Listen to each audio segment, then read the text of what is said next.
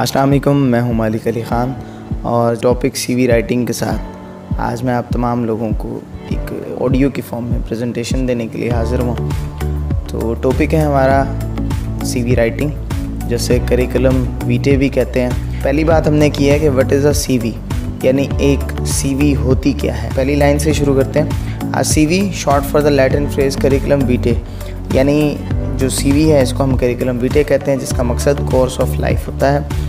इसके अलावा जो है सीवी एक डॉक्यूमेंट होता है कि जब हम किसी जॉब के लिए अप्लाई करते हैं तो उसकी ज़रूरत होती है।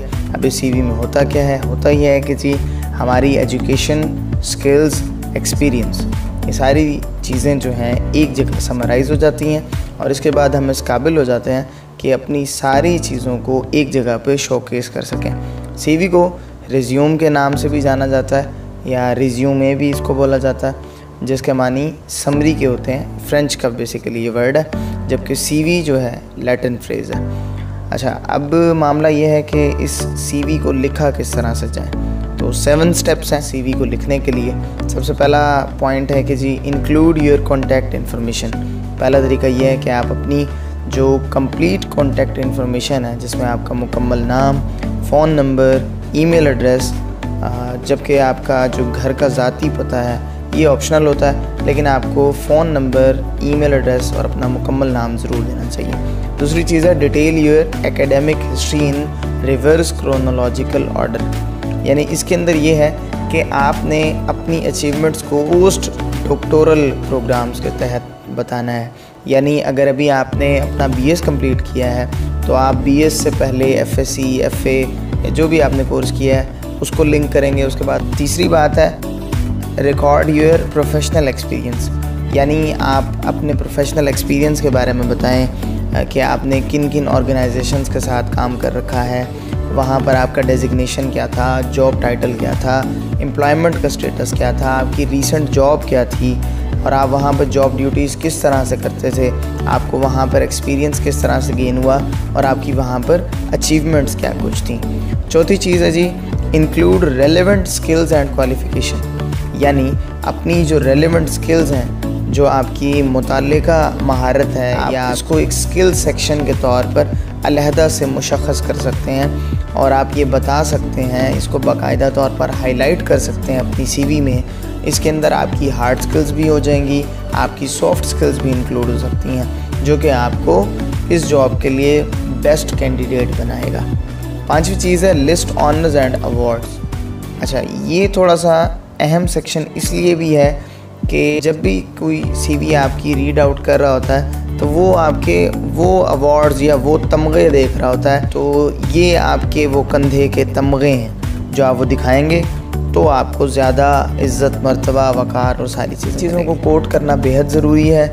आ, इसके अंदर आप अवार्ड नेम बता सकते हैं अपना अवार्ड ईयर बता सकते हैं कि मुझे इस ईयर में इस ऑर्गेनाइजेशन से अच्छा अवार्ड अब पाकिस्तान में अगर हम बात करें तो ज़रूरी नहीं अवार्ड कोई ट्रॉफ़ी हो या कोई कप आपको थमाया जाए ये सर्टिफिकेट्स भी हो सकते हैं। बस आपको जिसमें मेंशन कर रखा हो और आपकी डिटेल्स दी रखी हूँ कि फ़लाँ साहब ने फ़लाँ तारीख़ को फ़लाँ साल में फ़लाँ ऑर्गेनाइजेशंस के साथ इतना अरसा इस हैसियत से या इस एतबार से काम किया। छठा पॉइंट है include relevant publications and presentation बाज़ात ये होता है कि एक पब्लिकेशंस की और दीगर चीज़ों की एक यूरिश और एक अंबार लगा दिया जाता है। जी, यहाँ से हवाला देखें, ये पब्लिकेशन है, ये प्रेजेंटेशन है ऑथर्स के नेम आ रहे हैं डेट्स लिखी जा रही हैं समरी बन रही है पेज आ रहा है। तो इंक्लूड सिर्फ़ रेलिवेंट चीज़ें करें। कहने का मकसद ये है कि बताएँ ज़रूर, लिखें ज़रूर। लेकिन वो तमाम चीज़ें जिनकी ज़्यादा ज़रूरत हो। सातवां जो है last but not the least point ये है कि list your professional associations and affiliations अच्छा ये भी एक अहम मामला हो सकता है, चूँकि देख लें, अगर आपको कोई भी ऑर्गेनाइजेशन या कोई भी इदारा जो है, अगर आपको हायर कर रहा है और आपको, आपकी सर्विसेज़ को जो है, हासिल करना चाह रहा है तो वो ये ज़रूर देखेगा कि इसके कितने बंदों के साथ लिंक हैं, या इसकी पब्लिक में, जिसको हम पीआर बोलते हैं, इसकी पब्लिक रिलेशनिंग क्या है तो वो ये ज़रूर देखता है। इसमें आप अपनी ऑर्गेनाइजेशन का नाम लिखें, अपनी जियोग्राफिक लोकेशन की बात करें चैप्टर्स की डेट्स की, अपनी एक्टिव मेंबरशिप की बात करें, जिसके अंदर आप एक्टिव रहे हैं। तो ये एक अच्छा इम्पैक्ट डालता है ओवरऑल आपके सीवी रीडर पर। अब जब हमें ये पता लग गया है कि लिखने के साथ पॉइंट्स हैं तो अब हमें ये भी पता होना चाहिए कि एक सीवी को कितना तवील, कितना लंबा होना चाहिए। तो सीवी के लिए जो जो स्टैंडर्ड सीवी है, उसको ए फोर साइज़ के दो साइड से ज़्यादा का नहीं होना चाहिए। अच्छा to save space only include the main points of your education and experience अब इसमें यहाँ पर एक चीज़ ये बताई गई है कि स्पेस को सेव करने के लिए चूँकि ज़्यादा लंबी सीवी जो है, वो ज़्यादा चांसेस हैं कि वो रिजेक्ट हो जाए। या ज़्यादा चांसेस हैं कि वो पढ़ी ही नहीं जाएगी। तो उसके लिए क्या है, हमने स्पेस बचानी है। स्पेस बचाने के लिए हम मेन पॉइंट्स देंगे एजुकेशन के एक्सपीरियंस के। ऊपर जो हमने सात नुकात की बात की है, इनको हम मेन मेन पॉइंट देकर जिस तरह हम बुलेट्स बनाते हैं, इस तरह से हम इसको एक जगह ऑर्गेनाइज करके आगे प्रेजेंट कर देंगे। अच्छा फिर आपने रेलिवेंट इन्फॉर्मेशन के साथ जो है स्टिक रहना है, उसी के साथ लगे रहना है, चिमटे रहना है और इससे हट के जो है बात नहीं करनी। अगर आपसे पूछा जा रहा है या आप सिर्फ़ बताना चाह रहे हैं अपने किसी ऑर्गेनाइजेशन के एक्सपीरियंस के बारे में तो उसमें आपके चेयरमैन के साथ या जनरल सेक्रेटरी के साथ लिंक बताने की या रिलेशंस बताने की बिल्कुल ज़रूरत नहीं है। और अपना जो कवर लेटर है चूँकि हमने पहले भी हम हम में से बहुत से लोग ये जानते हैं कि सीवी के साथ जो है कवर लेटर भी ज़रूरी होता है। कवर लेटर अब क्या होता है, वो आप तमाम लोग जो है मुझसे ज़्यादा बेहतर समझते हैं। तो ये उसके साथ जो है, अगर ये सारी चीज़ें आप पहले कोट कर चुके हैं तो इनको अपनी सीवी के अंदर रिपीट ना करें। चूँकि कवर लेटर का एक अपना इम्पेक्ट है और सीवी का एक अपना इम्पेक्ट है। अच्छा सीवी फॉर्मेट की बात करें तो avoid font such as comic sans अक्सर ये होता है कि हम सीवी को ज़्यादा इंटरेस्टिंग या ज़्यादा फैसिनेटिंग दिखाने के लिए उसके अंदर मुख्तलिफ़ किस्म के फ़ॉन्ट्स और बड़े डेकोरेटिव किस्म के फ़ॉन्ट्स जो हैं क्रिएटिव किस्म के फ़ॉन्ट्स जो हैं वो यूज़ करने लग जाते हैं। लेकिन आ, हमारे यहाँ खसूस पाकिस्तान में इस किस्म का कोई ट्रेंड नहीं है। आपको इस किस्म के सारे फ़ॉन्ट से अवॉइड करना है। अब आपने करना फिर क्या है इसकी बजाय? आपने एक ऐसी चीज़ का इंतखब करना है जो प्रोफेशनल हो जो क्लियर हो और दूसरे को आसानी हो उसे पढ़ने में। मोस्ट ऑफ़ द टाइम हमारा ऑफिशियल या फॉर्मल फॉन्ट जिसको हम ज़्यादातर यूज़ करते हैं, वो टाइम्स न्यू रोमन ही है। अब जो है एरियल भी यूज़ किया जाता है। तो टाइम्स न्यू रोमन और एरियल में से आप कोई सा एक फ़ॉन्ट इस्तेमाल कर लें। अच्छा फ़ॉन्ट का अब साइज़ क्या होना चाहिए? फ़ॉन्ट का साइज़ ये है कि फ़ॉन्ट का साइज़ 10 से 12 अब देखने को या सुनने को आपको ये फ़ॉन्ट साइज़ बहुत छोटा लग रहा होगा कि 10 से 12 फ़ॉन्ट साइज़ क्या मतलब बात ना बनी। और हमें तो हम 14 पे रखते हैं, हम 16 पे रखते हैं तो ये अब 10 टू 12 वाला जो मामला हो गया है, इसका क्या किया जाए? तो उसके लिए ये है कि पोटेंशियल एम्प्लॉयज़ जो हैं, वो इसी फ़ॉन्ट साइज़ के अंदर रीड आउट करते हैं अपनी सीवीज़ को और वो इसी के अंदर अपने आप को लिमिटेड रखते हैं। तो इसको अब ज़रा भी अनप्रोफेशनल मत समझिए, ये प्रोफेशनल ही है और प्रोफेशनल लोग 10 से 12 तक का ही फ़ॉन्ट इस्तेमाल करते हैं। अच्छा एक चीज़ ज़रूर देखिएगा कि फ़ॉन्ट साइज़ की तो बात कर ली है, लेकिन फ़ॉन्ट्स और फ़ॉन्ट साइज़ ये दो चीज़ें हैं अलग अलग तो इसको कॉन्सिस्टेंट होना चाहिए, यानी इसमें यकसानियत नज़र आए। ऐसा ना हो कि आपने सीवी के हेडिंग में अपनी पर्सनल इन्फॉर्मेशन जहाँ दे रहे थे, जहाँ आपने अपना कंप्लीट नेम नंबर ईमेल लिखा था, वो किसी और फॉन्ट में है। और जहाँ आप अपनी स्किल्स की क्वालिफ़िकेशंस की बात कर रहे हैं, वो किसी और फॉन्ट में है। तो एक कंसिस्टेंसी होनी चाहिए उसमें। दूसरी बात यह है कि सेक्शन हेडिंग्स जो होती हैं, यानी जो स्पेस मार्जिनस होते हैं, उनको आपने अच्छे से ब्रेकअप करना है। यानी उनको अच्छे से जो है आपने रिप्रेजेंट करना है और ये देख लें कि वो ज़रा बड़े ही नज़र आए। और फ़ोन साइज़ आप उनका 14 और 16 भी रख सकते हैं। उनको आप बोल्ड भी कर सकते हैं। क्योंकि ये वो हेडिंग्स हैं जो कि रीडर को अट्रैक्ट करेंगी अपनी तरफ़ और रीडर इन्हीं की मदद से आप तमाम की जो सीवी है, वो उसको पढ़ेगा। अगली चीज़ ये है कि रिवर्स क्रोनोलॉजिकल ऑर्डर जैसा कि मैंने ऊपर बताया आपको तो रिवर्स क्रोनोलॉजिकल में इसको रखिए। कोई भी मैट्रिक से F S C F S C से आपकी आगे बी एस आपने किस तरह से किया, और वो मामला नहीं पूछना चाहता। हर बंदा ये देखना चाहता है कि मैक्सिमम इसकी जो अचीवमेंट है या मैक्सिमम क्वालिफिकेशन है, वो अब तक क्या रही है, और फिर वो रिवर्स क्रोनोलॉजी में जाता है। और फिर आपको जो है वो पढ़ना पसंद करता है। हमें ही ले लें कि हम करंट अफेयर्स हम हिस्ट्री को इतनी जल्दी जो है पिक नहीं करते। हम पहले रीसेंट इवेंट्स की तरफ़ मूव करते हैं। लास्ट टाइम अभी जो पीआईए वाला एक अफसोसनाक वाक़ जो है, आप तमाम के इल्म में है, वो हुआ तो अभी हम या ये कि इस एक्सीडेंट या इस इंसिडेंट के बारे में ज़्यादा जानने के लिए या कोरोना वायरस के हवाले से जितना भी मामला चल रहा है, उसको जानने में ज़्यादा दिलचस्पी रखते हैं। अब हमें माजी में आने वाली बीमारियाँ, वो सार्स हो, मर्ज हो, हम उससे जो है लिंक नहीं करना चाहते या उसके बारे में इतना जानना नहीं चाहते। तो हम चूँकि रीसेंट टॉपिक्स के साथ स्टिक आउट करना चाहते हैं तो यही पॉइंट उसने रिवर्स क्रोनोलॉजी के अंदर समझाने की कोशिश की। है अगली बात है keep it concise by using clear spacing and bullet points आपकी जो सीवी है, इसको नहायत क्लियर होना चाहिए। बुलेट पॉइंट सीधे साधे, कोई इसमें मामला जो है, वो दो नंबरी का नहीं होना चाहिए। सारी चीज़ें जो है, वो वाजे होनी चाहिए। अच्छा सीवी का जो लेआउट है, वो अलाउ करता है पोटेंशियल एम्प्लॉयर को। यानी एक एम्प्लॉयर जो अच्छा एम्प्लॉयर है, वो क्या करेगा? आपकी सीवी को पढ़ेगा तो इसमें से जो आपका मेजर कंटेंट है, वो उसको स्किम आउट कर लेगा और इम्पोर्टेंट पॉइंट्स निकाल लेगा और साथ ही में ये फैसला भी कर लेगा कि आप वो सूटेबल आप वो best of the best candidate हैं भी या नहीं। अगर आप बेस्ट हैं तो वो आपको पिक आउट कर लेगा। अगर आप नहीं हैं तो वो आपको आपकी हेडिंग्स सब हेडिंग्स और सेक्शंस को देखते ही, आपके उस सारे ब्रेकअप को देखते ही आपको समझ जाएगा और रिजेक्शन या सिलेक्शन की तरफ़ मूव कर जाएगा। अच्छा अब बाज़ात ये होता है कि चूँकि अब हम एक ऑनलाइन वर्ल्ड की तरफ़ मूव कर रहे हैं और दुनिया जो है अब ऑफलाइन से ऑनलाइन हो हो रही है। ये आप हमारी क्लासेस का ही बेशक रुझान देख लें, जब ऑनलाइन की तरफ़ बढ़ रहा है। तो ऑनलाइन का मतलब ये नहीं है कि हम बस ऑनलाइन में ढल ही नहीं सकते या हमने ऑनलाइन की तरफ़ जाना ही नहीं है।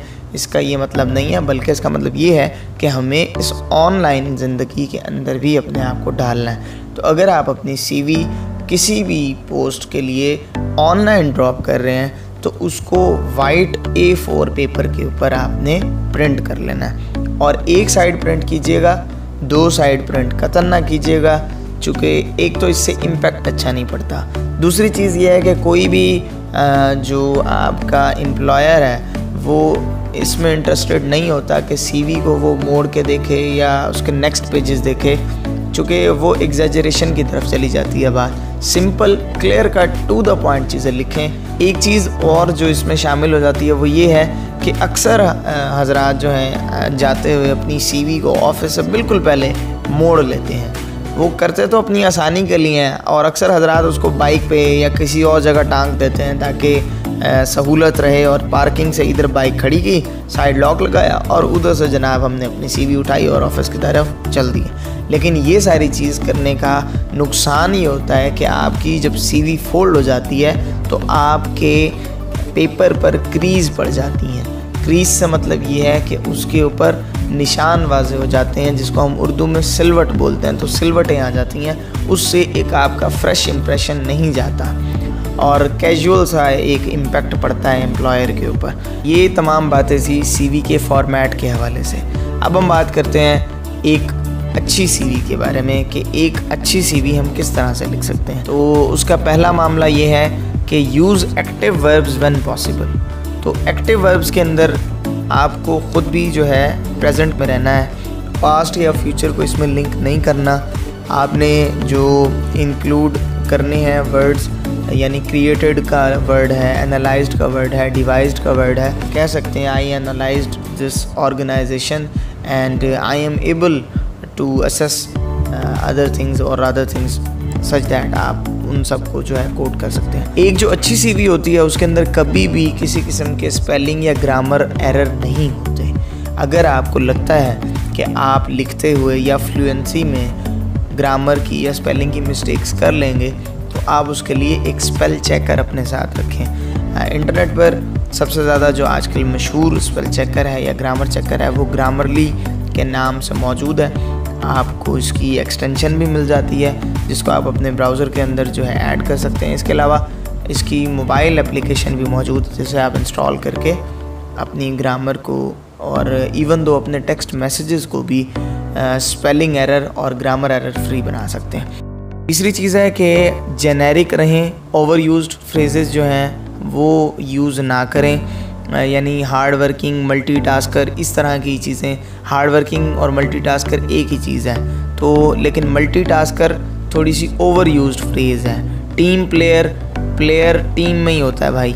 इसमें कोई ज़्यादा समझने की बात नहीं है। अच्छा इंस्टेड जो है प्रोवाइड रियल लाइफ एग्जाम्पल्स अच्छा अपनी ज़ाती ज़िंदगी के हवाले से बात करें रोबोटिक फ्रेज़ लिखने से रोबोटिक चीज़ें बताने से, आप शायद अपने आप को तो थोड़ी देर के लिए मुतमिन कर रहे होंगे, लेकिन इससे आपका एम्प्लॉयर कतन मुतमिन नहीं होगा। टेलर योर सी हम भी एक टेलर के हैसियत से अपनी सीवी बना रहे होते हैं, जिसमें हमने अपना कॉलर बैन गला और दामन अपने बाजू और जनाब, जो जो चीज़ें होती हैं, वो सारी चीज़ें आपने देखनी है। अच्छा कंपनी की वेबसाइट देखनी है आपने, सोशल मीडिया अकाउंट देखना है। आपने ये देखना है कि लोकल प्रेस में कोई चीज़ ऐसी मेंशन तो नहीं हुई। टेलरिंग सीवी का मतलब ये है कि आपने सर से पाँव तक उस ऑर्गेनाइजेशन को छांट लेना है। उस ऑर्गेनाइजेशन की एक एक चीज़ आपको पता हो। आपको ये पता हो कि आप कौन सी ऑर्गेनाइजेशन में अपने आप को लिंक करना चाह रहे हैं, आप कौन सी ऑर्गेनाइजेशन का हिस्सा बनना चाह रहे हैं, ताकि इन फ्यूचर, इन केस आपको आसानी रहे और आप बसानी वहाँ पर अपनी सर्विसेज़ को ऑफ़र कर सकें। एक चीज़ और जो है इसमें मज़ेदार सी वो ये है कि सीवी को सरकमस्टांसेस के हवाले से ढाल लें, यानी अगर इन दिनों आप कोरोना वायरस के सिचुएशन में कहीं पे अप्लाई करते हैं तो आप अपनी इस प्रेजेंट टाइम के हवाले से जो आप सर्विसेज़ ऑफ़र कर सकते हैं, उसके हवाले से बात करें कि मैं इस टाइम में ये ये सारी चीज़ें ऑफ़र कर सकता हूँ, या इस टाइम में मेरी सर्विसेज़ रिगार्डिंग मेरे स्केल ये होंगी। अच्छा फिर आप जो है अपना क्रोनोलॉजिकल ऑर्डर भी बेशक उसी हिसाब से चेंज कर लें, अपनी स्किल्स को उसी हिसाब से चेंज कर लें। मिसाल के तौर पर अगर आपने कहीं पर अकाउंटेंट के लिए अप्लाई कर रखा है तो अपनी जो डिस्पेंसरी की जो आपकी सर्टिफिकेशन है, उसको कोट करने की ज़रूरत नहीं है। आप अकाउंट्स की बात कर रहे हैं तो अपनी उन्हीं सर्टिफिकेशंस को, उन्हीं स्किल्स को शो करें जो आपकी उस पोस्ट से रेलेवेंट है। अगर आप एम एस वर्ड में एक्सपर्ट हैं एक्सेल जानते हैं ऑफ़िस जानते हैं तो उसको कोट करना ज़्यादा बेहतर है बनस्बत किसी डिस्पेंसरी के कोर्स की सर्टिफिकेशन दिखाने के। इसके अलावा जो है, आप पेज के ऊपर करिकुलम वीटे, सीवी या रिज्यूम का लफ्ज़ ना लिखें, चूँकि हर बंदा जानता है कि ये आपकी सीवी ही है।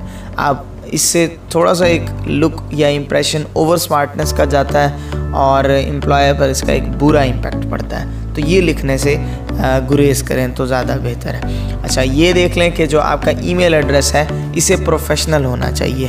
अब, ईमेल एड्रेस आजकल जो cutie princess it's me, childish queen या इस तरह के जो एक किस्म के ये ईमेल एड्रेसेस हैं, इनसे गुरेज करें। प्रोफेशनल एड्रेस रखें अगर आपको आपका ईमेल एड्रेस प्रोफेशनल नहीं मिलता, मिसाल के तौर पर अगर एक का नाम हुसैन असलम है तो उसको हुसैन असलम ही पहले तो यूज़र नेम सर्च करना चाहिए। अगर वो नहीं मिलता तो वो कुछ लेटर्स का इजाफा कर सकता है। लेकिन ये लिखना it's me Hussain Aslam at the rate of Gmail Yahoo Hotmail या कोई भी डोमेन साथ लगा लें तो डॉट कॉम तो ये ज़रा ज़्यादा मुनासिब नहीं है। प्रोफेशनल इसको साउंड करें। बेहतर तरीका ये है कि आप अपनी ईमेल को खुद से पब्लिक में एक दफ़ा कॉल करके देखें या ख़ुद से अपने अंदर जो है इसको कॉल करके देखें। अगर वो आपको बेहतर सुनने में मालूम होता है तो that's the right thing which you need in your C V writing अच्छा इसके अलावा है डोंट लाई और exaggerate on your C V अच्छा ये बड़ी चीज़ जो है जनाब देखने में आती है कि बहुत सारे लोग क्या करते हैं, जी सी वी में मैथ, जी ए कीता है, मैथ, जी ओ कर रखे है। तो ये सारी चीज़ें कोट करने का कतन फ़ायदा नहीं है। बाद में आप जब अपनी सर्विसेज़ उस, पहले तो जॉब मिलती नहीं है इस तरह से। लेकिन अगर हार्डली कोई जॉब मिल भी जाए तो लफ्ज़ है ख़ुद एतमादी वो आप में नहीं आ सकेगी। चूँकि आप वो चीज़ हैं ही नहीं जो आप अपने आप को बनाने या ज़ाहिर करने की कोशिश कर रहे हैं। तो कतन अपने आप को वो मत दिखाइए जो आप हैं ही नहीं। अच्छा एक और चीज़ ये है कि इससे क्या होगा, एक तो आप डिसऑनेस्टी कर रहे हैं। एम्प्लॉयर से पहले आप अपने साथ डिसऑनेस्टी कर रहे हैं चूँकि आप वो सारी चीज़ें कोट कर रहे हैं जो आप ना थे, ना हैं और ना ही शायद होंगे। लेकिन अगर आप वो बनना चाहें तो मुमकिन है कि आप मुस्तकबिल करीब में वो बन भी जाएँ। लेकिन इसके संजीदा नतज आप देख सकते हैं। इससे क्या हो सकता है? मिनिमम ये होगा कि आपको उस फर्म से उस ऑर्गेनाइजेशन से या उस इदारे से निकाल दिया जाएगा। और अगर इससे ज़्यादा सीरियस एक्शन हुआ तो आपको फ़ाइन भी पे करना पड़ सकता है। और हो सकता है कि अगर आप गवर्नमेंट के किसी शोबे में अप्लाई कर रहे हैं तो आप मज़ीद गवर्नमेंट के किसी भी शोबे में अप्लाई करने से कासिर हो जाए। और ये है ना कर इसको अगर उसने बड़ी सादा सी मिसाल दे रखी है कि आपका डिग्री ग्रेड जो है वो टू रेशो टू था। अगर हम यहाँ पाकिस्तान में बात करें तो मिसाल के तौर पर आपकी C G P A three point seven थी। तो आपने अपनी सी जी पी ए को क्या कर दिया? थ्री पॉइंट नाइन बना के पेश कर दिया। तो जब आप थे ही नहीं, हो सकता है कि आपको 3.9 पे ज़्यादा टफ़ क्वेश्चंस का जो है सामना करना पड़े, जो आपको समझ ही ना आए, या जो आपकी अकल से बाला तर हो, चूँकि आपकी रेंज 3.7 है। और आप कहाँ मूव करें 3.9 की तरफ़। तो ये क्या होगा? ये डिग्री फ्रॉड होगा और इससे आपको प्रिज़न और मैंने जिस तरह पहले बताया कि आपको जुर्माना भी हो सकता है और बाकी भी चीज़ें आपको भुगतनी पड़ सकती हैं। लास्ट में इसका एक पॉइंट है कि अपना कवर लेटर जो है हमेशा इंक्लूड किया करें। उससे क्या होता है? सीवी बेसिकली एक लिमिटेड चीज़ है। सीवी के अंदर ये होता है कि हमारे पास एक लिमिटेड स्पेस होती है, हमारे पास एक लिमिटेड इसका पैटर्न होता है, हम ज़्यादा सारी चीज़ें इंक्लूड नहीं कर सकते, या यूँ कह लें कि हम अपना बेहतरीन, बेहतर तारफ़ तो दे सकते हैं, लेकिन बेहतरीन तारफ़ नहीं दे पाते। तो इससे क्या होगा, आप अपनी एप्लीकेशन को एक पर्सनलाइज इफ़ेक्ट दे सकते हैं। इससे आप वो वो चीज़ें कोट कर सकते हैं जो आप अपनी सीवी में कोट नहीं कर सके।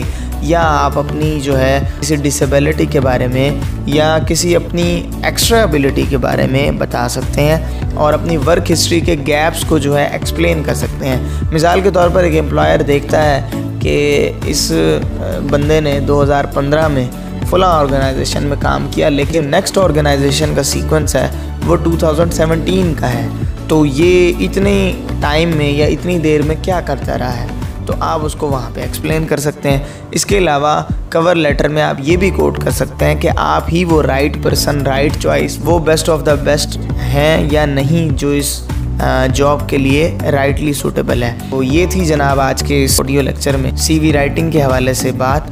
तो लास्ट में जो है मैंने एक सीवी सैंपल अटैच कर दिया है। ये सीवी सैंपल आपकी निगाहों के सामने, आप इस सीवी सैंपल को जो है देख सकते हैं इसके अंदर सबसे पहले जनाब एक साहब हैं जिनका नाम है डोरोथी डॉक्टर एमडी इन्होंने अपना एड्रेस दे रखा है three two zero four Windover Way, Houston. और आगे जो है, उन्होंने अपना एड्रेस दे रखा है, उनका ईमेल एड्रेस है Dorothy doctor at the rate of email dot com ये सैंपल के तौर पर दी गई हैं चीज़ें, इसलिए प्रॉपर कोई डोमेन या नंबर या सीक्वेंस आपको नहीं नज़र आ रहा। इसके अलावा उन्होंने अपना सेल फ़ोन दिया हुआ जो कि वैसे देना लाजमी है। नीचे जो है करिकुलम वीटे अब यहाँ लिखा है। इसका मतलब ये नहीं है कि इन्होंने करिकुलम वीटे यहाँ लिखा जा सकता है लेकिन जो बिल्कुल ऊपर है यानी डोराथी डॉक्टर के ऊपर करिकुलम वीटे लिखना ये मुनासिब तरीका नहीं है। अच्छा यहाँ पे उन्होंने अपना दो लाइनों में आ, अपना जो है एक शॉर्ट इंट्रोडक्शन दे रखा है कि dedicated and patient focused M D position to excel within residency providing opportunity to grow in knowledge therapeutic practice of paediatric medicine तो ये उन्होंने अपने हवाले से कुछ डिटेल्स दे रखी हैं। इसके अलावा उनकी एजुकेशन है। अब आप ये देख लें कि इन्होंने एमडी यानी अपनी हाइस्ट क्वालिफिकेशन को सबसे पहले कोट किया ऐसा नहीं किया कि उन्होंने पहले बीएस बताया, फिर अपनी, जो उनकी पहले की प्राइमरी एजुकेशन थी, उसको कोट किया, बल्कि नहीं। उन्होंने अपना पहले जो 2018 का सेशन है वो बताया, उसके बाद 2014 की बात की। ऑनर्स अवार्ड्स की बात कर लें तो इनकी जो अवार्ड्स हैं, वो जी डेविड गिफन मेडिकल स्कॉलरशिप है, वो ये चार साल से जो है लेते आ रहे हैं। इसके अलावा इनको डिपार्टमेंट की तरफ़ से एक बायोलॉजी अवार्ड मिला हुआ है। डीन्स की लिस्ट में इनका नाम है। एग्जामिनेशन के हवाले से इन्होंने कुछ काम कर रखा है। वर्क एक्सपीरियंस की बात कर रहे हैं तो यूसीएलए जो है जनाब डिपार्टमेंट ऑफ़ ऑनकोलॉजी इसके अंदर इनका एक वर्क एक्सपीरियंस है रिसर्च असिस्टेंट रहे हैं, इसके अलावा रेजिडेंट असिस्टेंट रहे हैं वॉल्टियर एक्सपीरियंस को भी उन्होंने कोट कर रखा है। तो ये है जनाब सी राइटिंग और करिकुलम विटे उम्मीद है कि आप तमाम लोगों को सीवी राइटिंग के हवाले से बड़ी डिटेल के साथ ये समझ आ गया होगा। बहुत सारी चीज़ें ऐसी भी हैं जिनको मैंने कोट नहीं किया या मुझसे मिस हो गई होंगी वो सारी चीज़ें। लेकिन एक जनरल और एक स्पेसिफ़िक सीवी के लिए ये सारी चीज़ें रिक्वायर्ड होती हैं जिनकी हम बड़ी तफसील से जो है बात कर चुके हैं। अगर आपको पूरी सीवी राइटिंग में कोई भी मसला हो या मामला दरपेश हो तो आप आसानी से यूट्यूब के कमेंट सेक्शन से इस हवाले से पूछ सकते हैं तो मैं इंशाल्लाह आपको इसका जवाब दे दूँगा इस उम्मीद के साथ और इस दुआ के साथ कि ये टॉपिक आपको मज़ीद समझ आए और आप अपनी दुनियावी और अखरवी ज़िंदगी में मज़ीद कामयाबियाँ समेटें। मुझे मालिक अली ख़ान को दीजिए इजाज़त और रखें मुझे अपनी ख़ास दुआओं में याद। मिलेंगे किसी और वीडियो में तब तक के लिए सपुर्द मौला